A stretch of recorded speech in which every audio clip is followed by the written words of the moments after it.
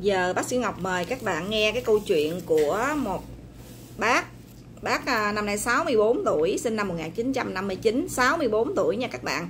Cái câu chuyện mà bác đi khám ở một bệnh viện lớn và được được à, yêu cầu đã đóng à, mười mấy triệu vậy bác? 18 18 triệu để làm một cái tổn thương lành tính trong vú á, là gọi là cái hút chân không cái VABB á. À, đây không phải là một thiếu nữ mà đã là một cụ bà 64 tuổi. Rồi giờ à, bà bà kể cho con nghe đi. À, hôm đó bà khám là cách đây bao lâu?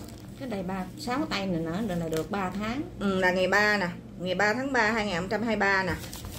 Thì à, với cái phiếu siêu âm này nói chung là để không có bị à, ảnh hưởng gì thì tôi phải che. Với cái phiếu siêu âm này là thay đổi sợi bọc thể giả bướu ha thì à, tôi làm clip tôi nói với các bạn ngoài à, thay đổi sợi bọc thể giả bướu tức là một cái tổn thương này nó có thể tự nó mất được luôn. Hoặc là à, nó cũng không phát triển tại vì nó là một cái tổn thương sơ hóa của tuyến vú. Rồi và cái kích thước là 22 x 10 đó thì à, hôm đó bác sĩ nói làm sao? Bà kể là con nghe lúc đó đi. Bác sĩ kêu đóng tiền đi đặng hút dịch hút tế bào dịch trong 18 ra. triệu. Dạ. dạ hồi đó bà có làm xét nghiệm tế bào sau đó bà có làm xét nghiệm tế bào. Thì yeah. ra tổn thương lành tính. Đây cái xét nghiệm tế bào à, à, của bà là là tổn thương lành tính có thể là thay đổi sợi bọc.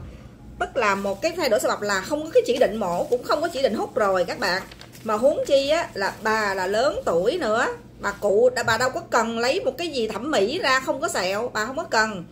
Rồi rồi sao rồi sau đó sao bà từ chối mà bà về nhà sao bà không đóng tiền? Dạ trả lời với bác sĩ kia là nói không có tiền. Dạ. Rồi bác sĩ đó nói với bà sao? Bác sĩ làm thinh à. Ừ. À, thì à, nhìn bà giống như là một mà một mà một nhà giáo mà nghỉ hưu lâu á. Nhìn bà thì à, à, tôi không có quay à, qua để tôi chiếu bà cho các bạn được. Nhưng mà tóc bà là trắng hết trơn rồi. À, hai phần trắng là một phần đen. À, bà thì à, mặc à, đồ bộ đồ thun hả bà ha? Dạ. đồ kt đồ thun là bình thường thôi đó áo một màu quần màu gì đó. Tức là rất là bình thường. À, kiểu như là về à, công chức mà nghỉ hưu lâu rồi đó. Rồi công việc của bà hiện giờ là bà làm gì? Ở nhà nội trợ. Nấu cơm cho con cho cháu hả? Dạ, nấu ừ. cơm ăn rồi à, con cháu bà con bà thì à, có ai mà kiếm được nhiều tiền không? Không có con. Con mất lâu rồi. Ừ vậy bà không có dạ, con vậy bà? mình. ở một mình?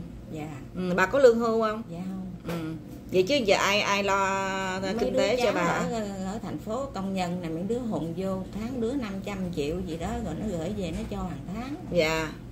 À, đó. Thì um, vậy đó. Mà tôi nhìn nhìn là mình phải biết là cái đối tượng nào cần cái chỉ định VABB cái đối tượng là thật sự không cần, đối tượng nào á là mình phải hiểu. Bác sĩ á, mình đứng ở cương vị bác sĩ, ai người ta cũng đã có từng qua cái khóa gọi là tâm lý bệnh nhân ở trơn ai cũng học ở trơn á. Đó, nếu như mình mình là bác sĩ thì mình phải đưa cho, mình cung cấp cho bệnh nhân hay còn gọi là ở chỗ tôi thì tôi gọi là khách hàng một cái dịch vụ tiết kiệm nhất, chi phí rẻ nhất không có xâm lấn không đau đớn và an toàn nhất. Đấy thì á, mới gọi á, là lương y. Chứ còn á nhiều bác sĩ coi như là không biết họ đặt cái gì lên đầu tiên trên cái trên trong cái cái phương chăm sống của họ nữa. Chẳng lẽ là bây giờ á, cái à, cái mà họ đặt lên lại là cái tiền tài. Mà nếu mà tiền tài danh vọng á thì nó cũng có đối tượng các bạn. Nhìn thì cũng phải biết chứ ví dụ như nhìn à, mình mình khi mình tiếp xúc mình sẽ cảm nhận được cái người đó à, khả năng kinh tế như thế nào à, và cái tình trạng tâm lý của họ như thế nào nữa. Đó, một cái người mà tình trạng tâm lý người ta ừ, người ta dễ xúc cảm hoặc là tâm lý thuộc lại yếu mà mình đi phan câu 18 triệu 18 triệu là thậm chí bà gia tài bà cũng chưa có được 18 triệu nữa dạ. đúng không? Hiện giờ gia tài bà cũng không có được nhiêu đó nữa. Mà mà mà nói mà đưa ra một cái là ừ, chỉ định như vậy mà trong khi là, là sau đó bà về bà lo không? Lo khóc luôn buồn lắm. Dạ mà sao bà buồn? bà đã nói lành tính mà. lành tính mà sợ để lâu không biết có sao không. Ừ.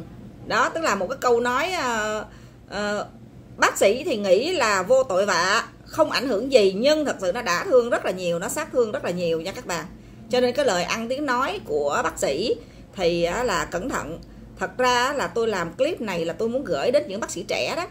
Những cái bác sĩ mà hình như chưa tốt nghiệp được cái khóa là gọi là tâm lý ờ, bệnh nhân đó.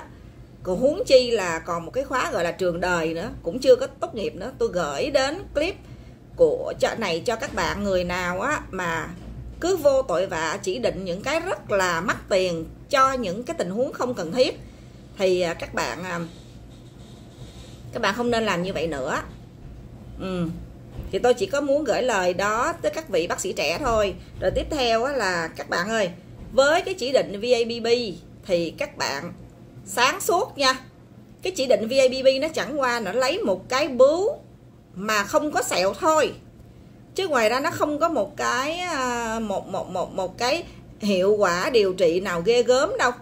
Rồi nếu như mà chúng ta thật sự không quá quan trọng cái sẹo thì cũng không cần làm VIPB rồi cái nữa là cái tổn thương của mình có thật sự là cần làm hay không, là chúng ta phải sáng suốt. Thì à, thành phần những những cái người nhân viên y tế để gọi là họ thật tâm mà họ làm đúng chỉ định á, là tôi thấy không có nhiều nha các bạn. Tôi thấy không có nhiều đâu. Cho nên là các bạn cứ đứng trước một cái quyết định gì mà phải chi phí quá nhiều tiền hay là phải can thiệp phẫu thuật mà các bạn muốn biết là cái điều đó có đúng hay không, thì các bạn đi khám thêm một vài bác sĩ nữa, một bác sĩ nữa thôi, mà phải đúng chuyên khoa để xem cái tư vấn nó có trùng hợp hay hay không. Nó phải, các bác sĩ phải cùng, tại vì y khoa mà cái sự thật nó chỉ là một thôi. Chẳng qua là mỗi một cái người với một cái cái trái tim hay một cái bộ não khác nhau thì người ta sẽ hướng dẫn mình cái kiểu khác nhau thôi. Chứ còn sự thật nó chỉ là một thì vài bác sĩ cùng nhau mà để mà nói cái sự thật nó giống nhau thì mình sẽ làm. Ha các bạn ha. Chứ bây giờ nói thật trong ngành y vàng thao lẫn lộn mà tôi nói thật khi mà tôi nói như vậy tôi cũng không có bạn. Ừ, tôi phải nói như vậy nhưng mà phải nói để cho các bạn có được cái kênh với tất cả những sự thật về à, về à, về à, ngành y tế nói chung cũng như là ngành ung thư nói riêng rồi cảm ơn các bạn đã theo dõi giờ bà yên tâm rồi ha yeah. Dạ. thì bác sĩ ngọc mới kiểm tra lại cho bà và coi rất là kỹ yeah. Dạ. thì cái tổn thương của bà thì đúng là thay đổi sợi bọc luôn mà bây giờ nó còn có 8 ly à chứ nó không phải 17 ly yeah. Dạ. nó nhỏ xíu à thì tình huống của bà là 6 tháng sau bà trở lại đây thì sẽ cho bà siêu âm lại với cho bà chụp cái hình nhũ ảnh vậy thôi yeah. Nếu bà có điều kiện thì 6 tháng bà đi kiểm tra vài lần yeah. Vậy ha. Rồi. Cảm ơn bác sĩ. Dạ. Hỏi cần uống thuốc hả bác sĩ. Cũng không uống thuốc gì hết á thuốc nó có hại nó yeah. có hại những uh, cơ quan nọ kia. Dạ. Dạ